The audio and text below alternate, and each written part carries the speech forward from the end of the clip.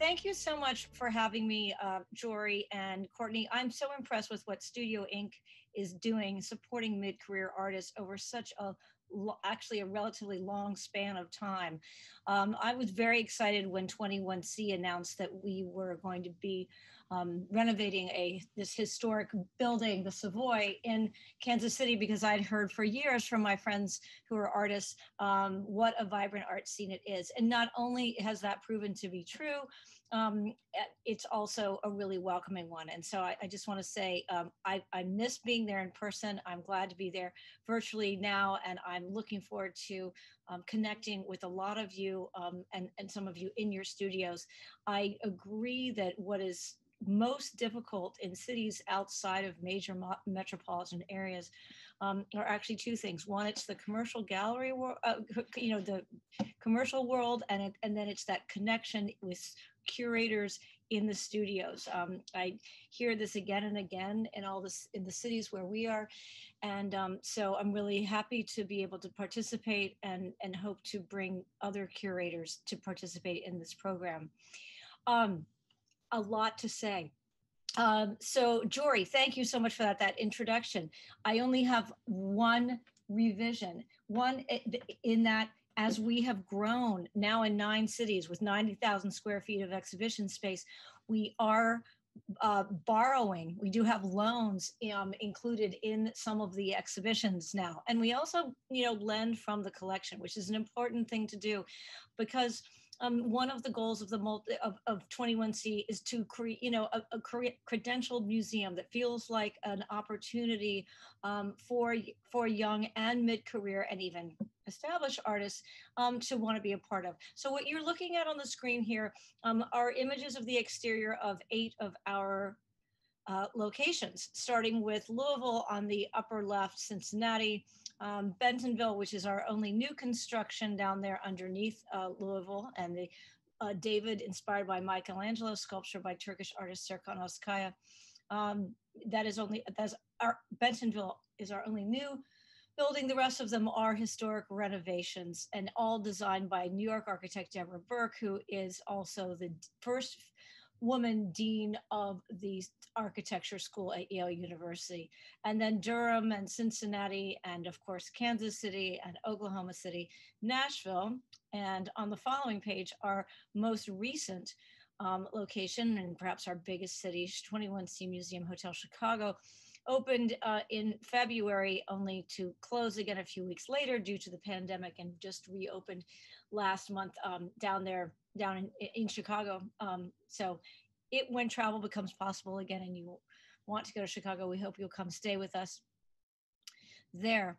Um, so I wanted to give you all a, a, sense of the range of the kinds of work that is in, that is commissioned, collected, and exhibited at 21C. And the next few slides are going to show you examples of site-specific commissions.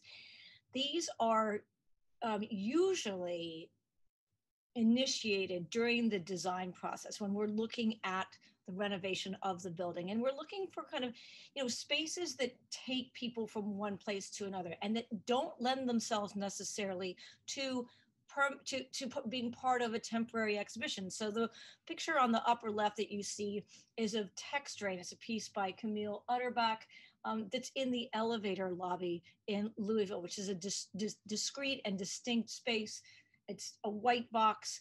Um, you know, when you're boarding an elevator next to a stranger, it can feel very awkward. But what if you saw a projection of letters coming down and coming to rest on, on your outstretched arm, on your head? Um, these are, it, it's a poem about bodies and language. People start to play with it it's a great example of um, how site-specific work can transform not only the space architecturally, but people's experience of the space, social sculpture.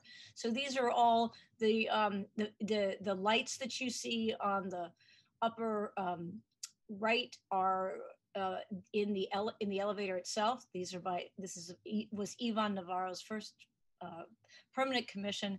Um, Ned Kahn from California installed these cloud rings, these puffs of smoke that are visible from both the interior and the outside. And Virgil Marti created this blacklight wallpaper. Um, the site-specific piece on the lower right is by Anne Peabody, who is from Louisville but now lives in Brooklyn, New York, and that's Wheel of Fortune, and that is a that is a site-specific work, but it's not necessarily permanent. Um, it is a tornado cloud with uh, with objects that are silver leafed and affixed to it, um, but it may not be there forever. So um, that's a different example. In Cincinnati, we have a field of field of grass um, lining the stairwell that, that picks up atmospheric data from the exterior and moves these blades of grass around. On the exterior of the building is this giant chandelier hanging from a scaffold by Austrian artist Werner Reiterer. You can press a button on the front desk, and outside you'll hear the sound of human breathing. Um, the floor projection that you see takes you back to the restrooms along the main hallway. This is Healing Tiles by Brian Knep. Um, the shapes that you see there will pull apart when uh, anyone walks over it and will heal, as the artist says, back together in a different way for each interaction.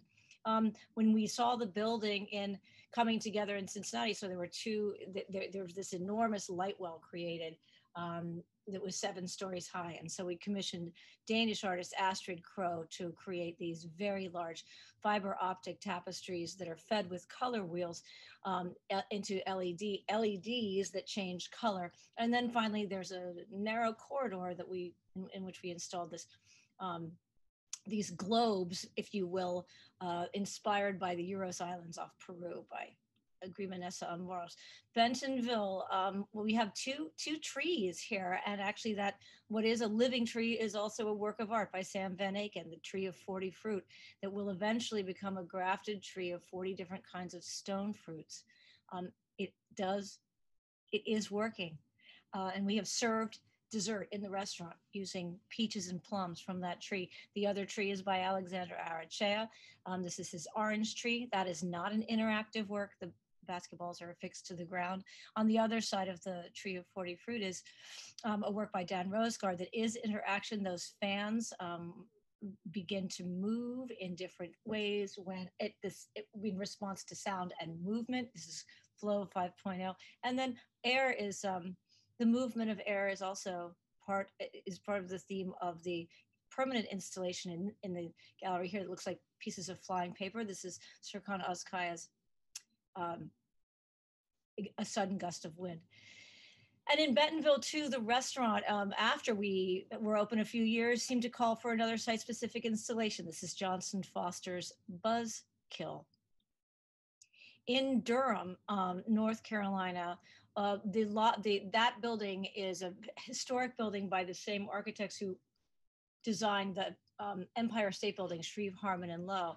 And because there's there's so many historic elements on the first floor the lobby gallery is on the second floor. So we had to find a way of transforming your journey up to the second floor. If you want to take the elevator that's fine but there is a staircase and now the staircase is lined with these mirrors in which you see these cutout clouds moving 360 degrees and bringing in, in bringing you up into this the, the exhibition space. Um, i do want to mention too um, the the the the white sculpture that you see there with the ceramic bear heads and the neon lights um, the floral element is made of yupo paper. This is a detail of an enormous ceiling sculpture that hangs um, in the restaurant. And this is by an artist duo named called future retrieval. Um, they are they were based in cincinnati. They've just moved i think to Santa Fe. I'm not uh, somewhere out west. Maybe it's Arizona. But they um, so they were part of our Elevate program originally, which we'll tell you about later. We they we borrowed their work for a temporary show in Cincinnati, and then got to know them and commissioned them for a major piece. Um, I might add they went to the Kansas City Art Institute. Yes, so some yeah. of that's right, that's right. Thank you, Jory. Yeah. Um, and then we have another Kansas City-based artist who designed our non-binary bathroom signs uh, over there, Peregrine Honig. This is, these are the, uh, well, it, I should say that that's a great segue to, you know, when, when 21C, when we need to um, have an exterior, when we need to have something practical, why not make it art? So in Lexington, there was supposed to be a street light on the corner. So we installed Pieke Bergmans' Totally in Love here, not your usual street light. Um, the uh, Soft Lab, which is a design and art studio in New York, made this Spectraline installation um, that hangs from the ceiling when you walk in. Again, this is a historic building. Um, this is a McKim Mead and White building. We couldn't have anything that directly affixed to the ceiling or to the floor in the entry, so um, this was the solution there that tells you you are in a place of the future of the now.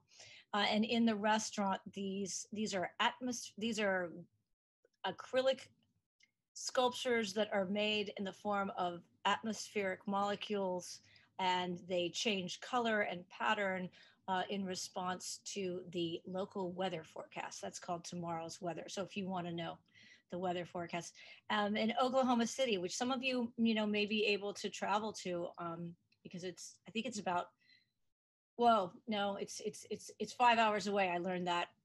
I learned I learned that uh, when I was en route between the two cities a few years ago. So this is an old Model T. This is a former Model T Ford assembly plant from 1916. Um, it's got about 14,000 square feet of exhibition space on the first floor and expansive exhibition space on the guest room floors, um, which are pictured down here on the lower right. This is a permanent installation by artist trio from Seattle, Sutton Beres Culler. You always leave me wanting more. There, those arrows are shooting through on all three of the guest room floors. We had to create a, a, a ballroom space, an event space. So um, we did that by commissioning Swedish artist Gunilla Klingberg to create this floor installation, The Spinning Wheel of Life. Um, and so labor and assembly plants, um, the assembly plant um, the is has inspired a lot of the uh, permanent work. Um, this is James Clark's River of Time on the on the upper left, and then you have two images of Matthew Geller's Woozy Blossom, which emits mist and changes color at night. We were planting trees along the exterior sidewalk, and of course thought, why not include an artwork?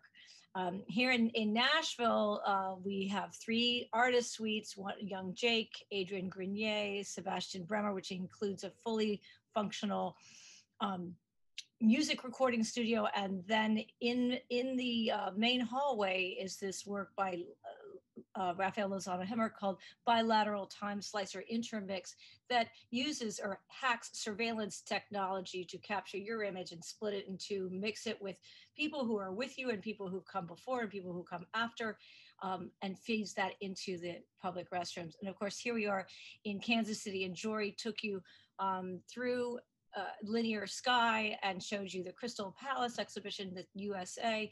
Um, and we'll just take a quick look at Brad Kahlhamer's uh, Supercatcher Vast Array, which was a very thoughtful response to the historic murals in the Savoy from 1913, which depict a rather stereotyped image um, of the American West, you know, cowboys and Indians. And we wanted to answer that with both, a, a you know, a, a reverential reference to the foundational culture of the United States and our first Americans, um, but also with a kind of magic um, that would take out some of the old and usher in the new and a welcoming, create a welcoming space for a whole range of people. Uh, at 21C, we want our, um, sorry, I'm going to go back. You know, our goal is for the art to help make 21C a place that it welcomes, inspires, challenges, and includes every everyone. We expect everyone who walks through our doors to discover something about themselves and their culture represented, as well as new faces in places that they haven't seen before. Uh, the this is another example of a, a project that uh, site-specific installation, now permanent, that was done after 10 years after 21C opened in Louisville. The restaurant Proof on Main needed to be refreshed and uh, so Steve and Laura Lee said, well, why don't we just get some artists? So we were able to commission LA-based artist um, Fallen Fruit, David, David Allen Burns and Austin Young to create a um, an installation, a four-part installation called "The Practices of Everyday Life," uh, and this had to do with the history of the community going back. Well, they it, they go back to pre uh, pre-colonial times um, and through to the present. So this is this is the the bar proof on Main, which is a um, an homage to the LGBTQ community. and to love. This is the main dining room, Kentucky, the blood of the land. And the uh, private dining room, which is a portrait of Steve and Laura Lee. Um, so actually, so I'm going to go back for a second and talk about, uh, you know, they Stephen Laura Lee founded 21C Museum Hotels in 2006 because they had been collecting for a number of years and sharing their collection with people who came to visit them at home. And they saw the value of trying to integrate art into everyday life and giving people greater access. They're like, you know, ha- having exposure to thought-provoking contemporary art has changed our perspective on so many things and other people a broader range of people should have that opportunity um, and so they didn't want to build a private mu- a, museum or a private foundation uh, and they wanted it to also serve to revitalize the urban core of downtown louisville. And they did some research and found out that, you know, a business that would do well in Louisville was more hotel rooms. So downtown Louisville, like many downtowns of our mid-sized cities in the United States, had been abandoned in the 80s, and you know people were not living down there anymore. It wasn't residential. People had fled for the suburbs. Um, and like many of our downtowns, including, including Kansas City, there's so many beautiful buildings um, that just needed some love, that needed some renovation, that could drive uh, economy that could drive civic engagement and that could create greater and broader access to the art of our time. So it was intended to be a hometown project, and then investors from other cities, Cincinnati being number what came forward. And, and between 2012, uh, we, when we opened number two, to Cincinnati, to 2020, when we opened number nine, um, it's been a whirlwind and it's it's, it's been a lot of fun to um, become a become a part of these communities. So now I'm just going to give you a quick uh, overview of some of our current exhibitions. Um, these are largely drawn from the permanent collection with now numbers about over 3,500 works of art in every uh, medium you can imagine from photography, sculpture, painting, um, film, video, performance, augmented reality, virtual reality. The collection has grown tremendously. Steve and Laura Lee remain committed to growing the collection um, in, in acquiring work for us to curate into exhibitions. It's extremely global. Um, nearly half of the artists in the collection are from outside the US. Um, we believe very much in looking at the human condition from a global and an honest perspective a lot of the, ex- the exhibitions are intended to reflect on the state of the world today and to examine our most pressing issues. Um, it is a, the, the, the collection is uh, over 45% not, uh, female identified artists and, and between 30 and 35% artists of color. So um, it's very very broad. Now these things are not um, these percentages are not things that the that we we try to maintain. It's just because inspired by stephen Lee, laura lee's curiosity about how people live dream play and work the world over that is what emerges. It includes work by well-known artists very well-known artists Kehinde Wiley, Bill Viola, Carrie Mae Weems, down to you know emerging artists from all over the world. So the, the future is female, um, which is currently at 21C Durham, um, which is an exhibition about the persistence of the struggle for equality and the evolution of our ideas around gender and sexuality. Um, includes work by Zoe Buckman and Saya Woolfalk and Andrea Bowers, which you see pictured here.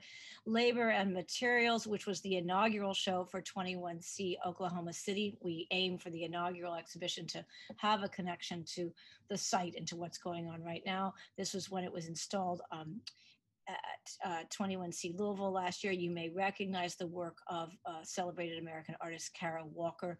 Um, uh, and uh, this is Marina Zurkow, who's um, Invisible Oceans More and More is the video sculpture here. This is an exhibition about um, the evolution of labor and work uh, today and the impact of technology and of immigration policies and a whole range of um, of influences. The supernatural is an uh, looks at how our understanding of nature and landscape um, has evolved to be both equal parts organic and artificial. You can see our colleague Deanna here testing out uh, a virtual reality tour of Bora Bora by Jacob Steenson. Seeing Now, uh, which is currently in Oklahoma City, is an exhibition um, about perception, both physical perception and psychological perception, and what are the forces that are shaping what and how we see the world. Pop stars, popular culture, um, and contemporary art uh, is a, a um, group exhibition about the um, the all two is two pronged the continuing influence of pop art and then how pop popular culture is being mined for contemporary art to address a whole range of issues from identity um, and equity and uh, commerce in the um, today. You can see there's work here. The, the sculpture is by Kehinde Wiley, and we have work by Derrick Adams and uh, Deborah Roberts here on the lower left, um, who currently has a solo show at the Blanton in Austin, if anybody makes it to Texas. So we've seen offspring new generations. The, the group shot on the upper right um, is at our opening where Anthony Goicolea, who is um, collect has been collected in depth um, by 21C and was our speaker. Um, all of our events, when we get back to doing them, are open to the public, free and open to the public, um, which I really want to to emphasize. And here's me and Jory with Michaela Slavin, who's our museum manager in Oklahoma City. Um, that reminds me that I what and and here we are here we are at, at an opening uh, in Cincinnati for Regalia and Resistance. Um, dress up, speak up, regalia resistance, and uh, I'm with featured artist Bisa Butler, who gave an incredible opening talk she has a solo her first solo exhibition uh, is going was organized by the Katonah museum of art and is opening next week at the art institute in chicago. Um, behind her are, is one of her amazing textile works and we are with michael hurst our museum manager in chicago which reminded me that I was going to mention the structure of the staff for our multi-venue museum. Um, is there are 18 of us. Uh, nine of us are centrally located in Louisville, um, and the and the other nine are uh, heading up our locations, and we all work together. We we've been, I guess, prepared for in some ways for for pandemic working because we've been, you know, we we work remotely and then we come together um, a couple of times a year when we're changing the exhibitions uh, Fragile Figures is a new exhibition in, uh, in, in Nashville, Beings in Time. The work on the left there is by Atlanta-based artist um, Alfred Conteh. And that group shot shows you a staff training tour. Um, as your artists, you, many of you are artists, um, I've anticipated that questions about how do we care for the art? How do we keep it safe when we're open 24 seven? And open to the public and are not a traditional museum. We do a lot of staff training.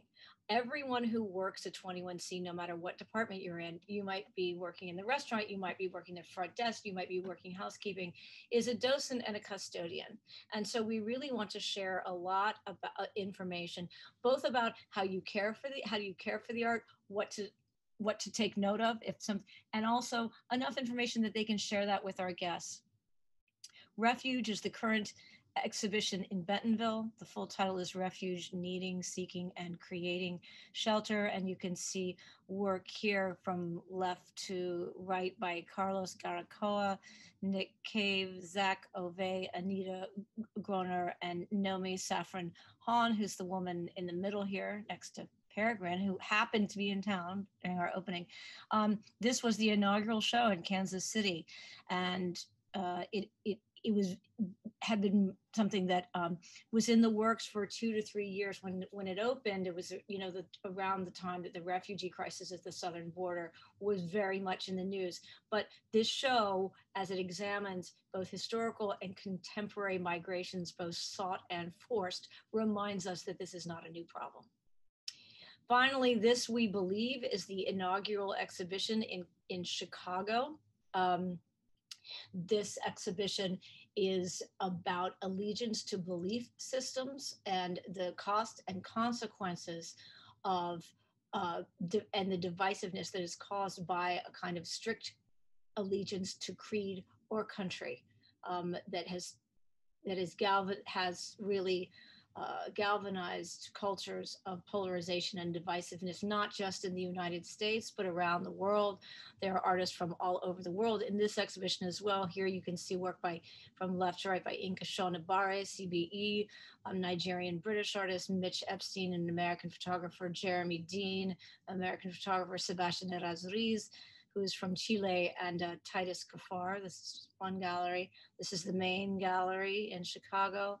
Um, this is a work by um, an artist who was born in the Netherlands and now lives in France. Um, you can see the title there, "The State I Am In" and the consciousness um, of a country's empty of a country's empty mind. This is all not. This is not taxidermy, and this is another work by the same artist. This is painted. Uh, we in every location we have a dedicated video lounge, uh, a space that is only for what now I say art that needs to be in the dark um, but really for moving image art. And in Chicago, we are showing Kota Ezawa's uh, watercolor animation national anthem um, that debuted at the Whitney Biennial. Uh, this is another important work in the Chicago exhibition, Zak Ové's Umbilical Progenitor. Kara Walker, A Warm Summer Evening. Al Farrow, um, Study for a Mosque Reliquary. So I'm just gonna uh, the this we believe also includes a suite of works by uh, MacArthur winning photographer Latoya Ruby Frazier. Um, and so now we want to, you know, kind of get down to to the local. Um, so in every 21C, there is space designed on the guest room floors when people get off the elevator for temporary installations of works on loan from local and regional artists. When we were opening 21C Cincinnati, I had to confess that even though Cincinnati is only an hour and 15 minutes from Louisville, I didn't know that artist community well enough. And I thought there's got to be a way that we can, you know, install and support the work by local artists from the minute we open the doors. We don't want to have our spaces devo- and also, you know, introduce visitors, introduce our ge- hotel guests to the work of artists um, from that community. And so that and and, and we um, you know there have been a number of instances where 21c has acquired work from this program and or guests have asked about acquiring work from uh, from those artists. 21C does not get involved in any kind of any part of the commercial transaction, but we will put you know interested guests um, in touch with the artist and or their gallery. So Jory, do you do you want to just uh, take us through? Um, yeah, well, your first picture here is a um, I believe Patty Carroll is yes. is now an extended studio member at Studios Inc. So she finished her three year residency and then chose to extend. Um, so Patty Carroll, Madeline Gallucci, and Casey Whittier were um, here's Madeline Gallucci's installation. Uh, yep. Go back one. Um, were our very first Elevate artists opening day. Um, these pieces by Madeline Gallucci were painted there on site um, which is bittersweet. They're so amazing, but yet at a certain point I had to paint over them, um, which is very sad. But uh, she knew that was that was the agreement going into it, and was happy to kind of do this um, fun, sporadic, you know, almost feels immersive because of the massiveness of of the paintings. Um, yeah, and it was a really creative approach. I mean, that's the thing about Elevate. You can you, know, you can have an artist look at the space and respond to it either with existing work or to make something on make something on site. Right. Um, it can be an opportunity to experiment. Yeah. Um, and then the next photo there we have on the right, Casey Whittier, ceramic artist here in town. She does teach at the Kansas City Art Institute. And then Jillian Youngbird, um, on the left. And this this is a really interesting little, I call it the sculpture nook um, because it's this space on the second floor that's a little bit tucked away. So it's it's um, as you're venturing through the floors of the hotel, you kind of get this this gift as you're walking through the space. Um, and it just really suits itself for installations of this of this sort. So yeah so that's you know uh, when when i'm working with with my you know colleagues at, at the at headquarters in louisville on the planning for renovations and there are these space i'm always looking and my you know and my colleagues always for spaces that you know might call for something but i don't know what and so the museum team we raise our hand and say oh let's at least plan to make that space um, you know, usable for art. So let's plan for lighting, let's plan for the guardrails, and then we'll see what we can do with it. We can open it up to, to artists. Yeah, really great. Here we have um, Jessica Wall. She is um, currently not living in Kansas City, but did um, attend school here and um, lived here for an extended period of time. So we do take in artists that have a connection to Kansas City, um, but maybe are and maybe are still regional. Um, so we can stretch out a little bit beyond um, just the Kansas City metro. Right. We've got a quilt piece there and some some collages. And so I wanted to show you all examples of how it varies from different building to different building. In uh, in Durham, these are actually vinyl wallpapers. Um, Nell Fortune Greeley, our museum manager there, has worked with artists um, who want to turn their imagery into vinyl wallpapers because this is unprotected space. Um, and so these are the current, some of the current ins, uh, installations that you see in Durham.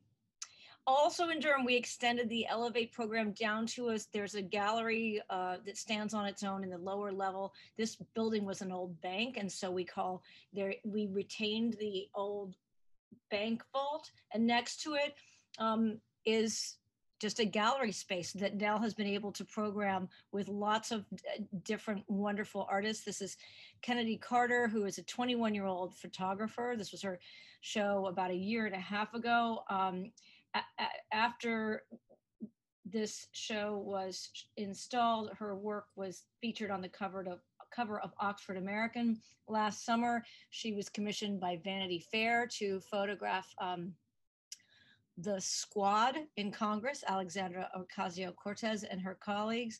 And this month, her photograph of Beyonce appears on the cover of Vogue magazine.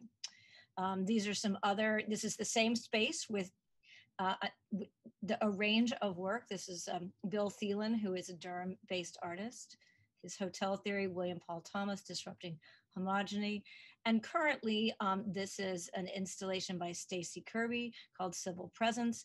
Um, she does activate the space by uh, being artist in residence. Um, a few uh, she's done it a few times, maybe four times a month. Uh, she was there on election day, engaging visitors who want to come talk to her about their civil presence and their participation in our democracy. He, this is in Lexington, another uh, Elevate program in a gallery that's on the first floor.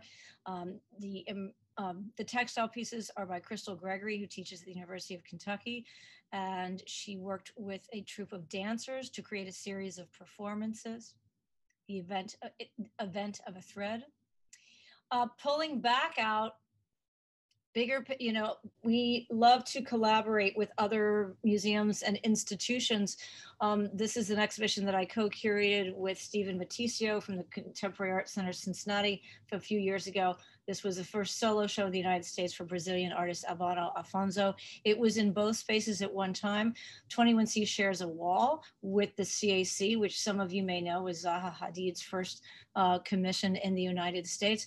And the exhibition was in both spaces at once with a site specific um, project on the exterior, linking them.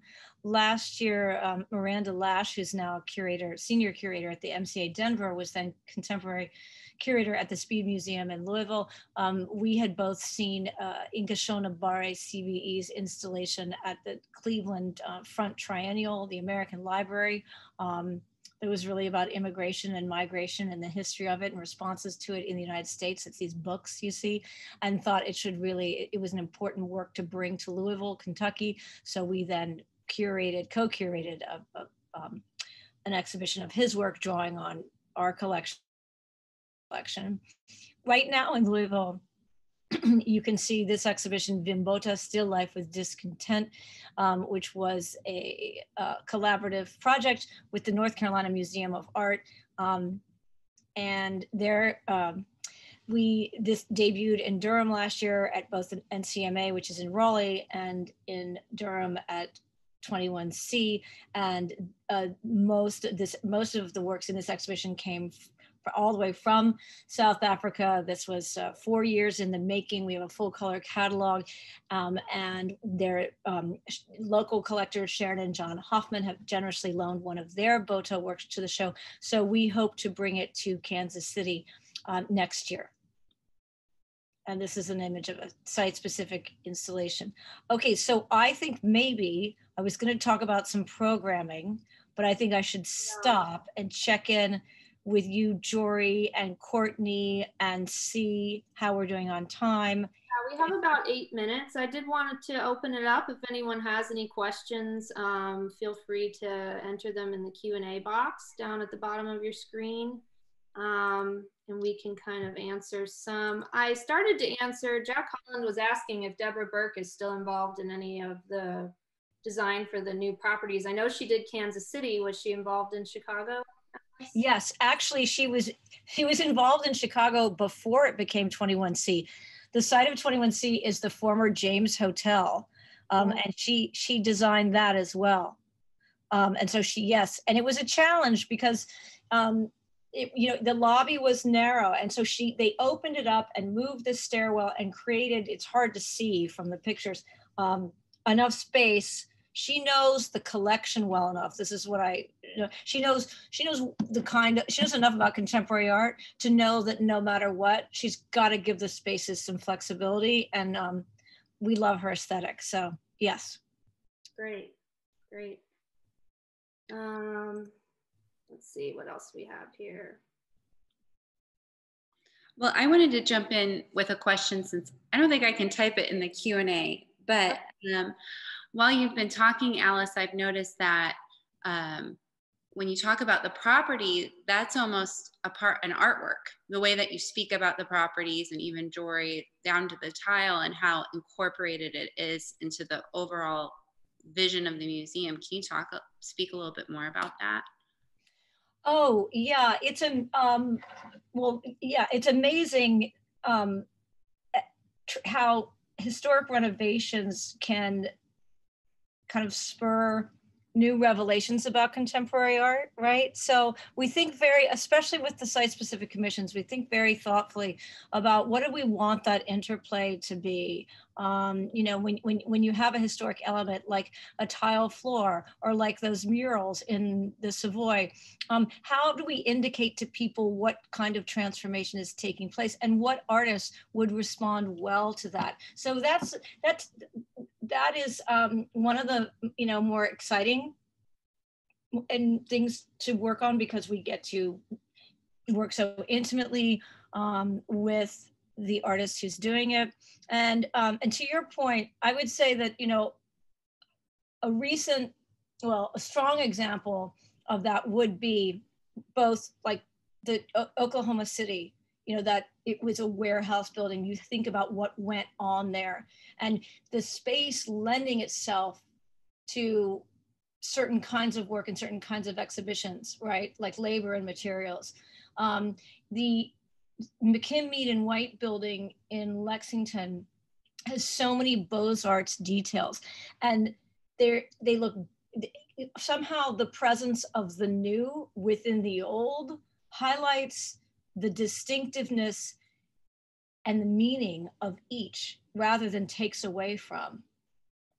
um, those those details become really important. If it, you know, ceiling is um, there's a what you know the details and the marble and the and the and the materials and we think about what those materials meant when they were first used and how can we use contemporary art to then offer a new lens to the past?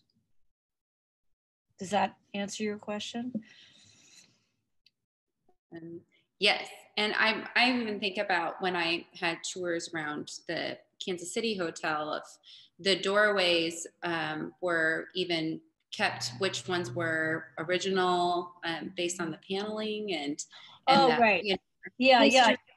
like making sure that you, it seems that there's an attention to detail that's maintained from beginning to end that is applied to the the buildings but also to the collection and how that yeah and i think well that that raises another point is that you know um, the founders and the company leadership is very committed to sustainability. If we can reuse materials, you know, we want to do that. Um, it, it, it is about preserving what can be what can be preserved and then and then using art to to maybe transform you know our perspective how has the response been to the guests that have stayed in the artist rooms that have you are you compiling the recordings and oh i well i didn't show you and i wish i had. I didn't show you. We have a we have a an artist suite in louisville that was the first one by freeman and Lowe and it's it was this guest suite on the lower level like no other rooms were down there. It didn't have any natural light. And um and these artists tra- freeman and Lowe transformed it into something called a sleep in the cyclone. And I had no idea, right, whether people would really like it or not. Um, the ceiling looks like a geodesic Buckminster Fuller dome, and there's all sorts of references to psychedelic culture in there. And I didn't, you know, I thought, well, if no one likes it, we'll have it open for an exhibit and um, I can't ever get in there because it's it's booked all the time, which is great. Um, it ranges, you know. Um, people in Nashville responded really well to the sanctuary, of course, because it's the the front room is a music recording studio, and then the bedroom recreates Sebastiaan Bremer's artist studio in Brooklyn. Um, I think, uh, but but you know, I think that um, putting the emphasis on art in public space is is also important, right? Because we want people to to experience that uh, with one another. And then, um, you know, the room, the regular rooms are beautifully designed by Deborah Berke to offer you um, a little bit of respite, but you can still continue to discover art even if you're not staying in an artist suite by simply turning on your television because the default channel in all 21C rooms is our art channel, which we program with mostly with our own content, videos and films from the that are related to the current exhibition. And then we have a whole series of documentaries and interviews that we conduct with our artists. These are short form, three to six minutes, and you can hear from the artists directly um, on the art channel. So that's a whole nother portal to another world of art that's uh, in everyone's room. Well, and then to continue the discussion along that lines, the idea that what you are doing is a museum in a hotel. And then when you think about the behaviors or how people engage traditional museums, when you go in through the door, you're in a museum and that like rigid space with your hands behind your back because you're not you're not supposed to touch the artwork at 21C either, but there's not that um there's that, not that velvet rope. Yes. Right? There's not that yeah. Yeah, there's not that velvet rope. You you don't have to have a certain amount of knowledge um, people come in who are you know we hope that our goal is to curate the exhibitions and have programming that appeals to both people who are arts professionals all the way down to people who who say oh i, I i've never seen you know i don't expose myself to contemporary art. Um, and you know i think that art appreciation can come equally through pleasure as it can through pedagogy and we want to offer all of those experiences. There is no demarcation between hotel space and museum space. which you'll know if you've been there. And there is no kind of psychological demarcation um, between, you know, hotel guest and visitor. Um, we do organize programming and tours and things like that, just like any museum would. Um, but but we we loosen up. We hope that the atmosphere is one um, in which the art and the artists are taken seriously, but we don't take ourselves too seriously, so that we can actually truly broaden access and appreciation for the work of living artists. And I see in the Q&A there is an open about how how the collection is curated and you've mentioned already in the talk that it's um, a private collection that the museum it's from steve right well, yes tech, yes yes it is a, technically a private collection but but the collectors don't take they they don't take a private um, approach. I mean, they are buying the work, but with the intent of it being publicly seen. So this is a public mission. Um, and they buy from artist studios, from galleries, from art fairs. Um, we, we used to go to a lot of art fairs. And when we are together, we are constantly talking about what exhibitions are still traveling? What exhibition do we want to make the inaugural show for, say, St. Louis, which is our next, which will be since uh, 21C number 10, um, which we're already beginning to think about. And how and, and and and what can we, you know, what is needed? What are the gaps that we can fill? Um, the generosity and the vision is incredible. I mean, well, often things come into the we uh, often acquisitions will go straight to a traveling show. Um, and you know without ever without it, they don't not, not everything stops at their house first which is you know really amazing yeah generous well i think we've run out of our time um i did oh what, what building in st louis will be renovated it's the former ymca in st louis is that do i have that right alice yes great yeah I'm uh, so I hear rumors that there will be a pool. There is a pool. I don't know if it's incredible. I mean, it's it. This building is fantastic. Like the the main gallery is the former gym, and there's a running track that hangs from the ceiling. Already thinking about what kind of crazy things we could do with that. Um, there is a, a beautiful wooden wooden bottom pool. So we'll see. We'll see. I see a question in the Q and A I love how innovative the collections are for the hotels and shows inside the hotels. Do you have committees or advisory panels that exist you in selecting the work? Um, so, as I said, I have a team of 18 brilliant people like Jory, um, who let me who share with me not only the artists that they know in their communities but you know who they're interested in, what they're seeing online. And we're constantly in conversation about what could work well in this traveling exhibition, what you know, what what could work well as a site specific project. And then I share that with um, you know, with the collector, the collectors, the founders are still very, very much involved. Um, and and then we um, yeah, it's it's a it's a much it's a different kind of process than what you would find uh, in the in the museum. But I think um, we've got a lot of sharp eyes and ears out in communities across the U.S. that are um, acting as an ad hoc committee, if if, if you will.